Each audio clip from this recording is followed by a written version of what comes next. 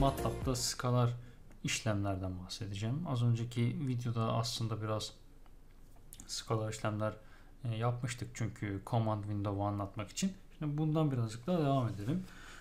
Sizin de hatırlayacağınız üzere command window'da aslında tıpkı bir hesap makinesiymiş gibi işlemler yapabiliyorduk. Mesela skalar işlem yapmak gayet basit. Tek yapmanız gereken şey aynı bir hesap makinesi kullanır gibi işlem yapmak. Tamam. Mesela toplamak için A dediğim değişken mesela 5 olsun. B dediğim değişken de mesela 3 olsun.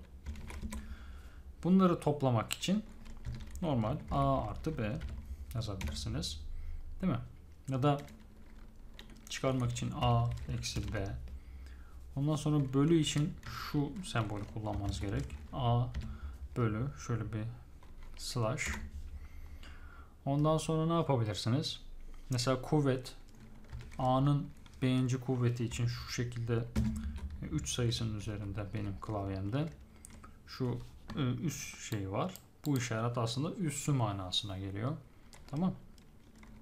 B yaptığımda işte 5 üzeri 3 125. Ondan sonra başka ne var? Mesela karekök alabilirsiniz.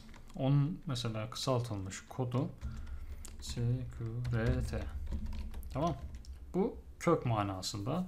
Mesela 25 dersen bunun içine 5'i verecektir. Bir önceki yazdığım kodu hızlıca yazmak için mesela bir şey değiştireceksiniz. Command Window'da mesela bir şey yazdınız. Ondan sonra o de, o yazdığınız e, kodu farklı bir değer için hemen hızlı bir şekilde yazmak için tekrardan uzun uza mesela bu şu an kısa ama uzun uza yazmaktan ziyade yukarı ok tuşuna basarak bir önceki yazdığınız hemen ekrana getirtebilirsiniz. Sadece ekrandakini daha doğrusu son yazdığınız şeyi değiştirerek değişkeni mesela A dersem kök 5 o da 2 nokta 20 3 mü verdi? Tamam. Bu şekilde işlemler yapabilirsiniz. Mesela sizin A dediğiniz değişken 5 ya onu e, kendisini kullanarak güncelleyebilirsiniz. Mesela şöyle şunu söylemek istiyorum ki bu aslında algoritma yazarken çok yapılan şeyler. Mesela A eşittir diyorum. A eksi 1. Bu ne demek? A'yı kendi önceki değeriyle önceki değerinden 1 çıkarak A'ya tekrar eşitle. Yani A dediğim şey aslında yeni değeri 5 eksi 1'den 4 olacak. Ya da şöyle de yazabilirim. A eşittir. A çarpı A dersem A şu an 4 olduğu için 4'ün karesine eşit olacak burada. Görmüş olabileceğiniz gibi. Ya da şöyle A eşittir.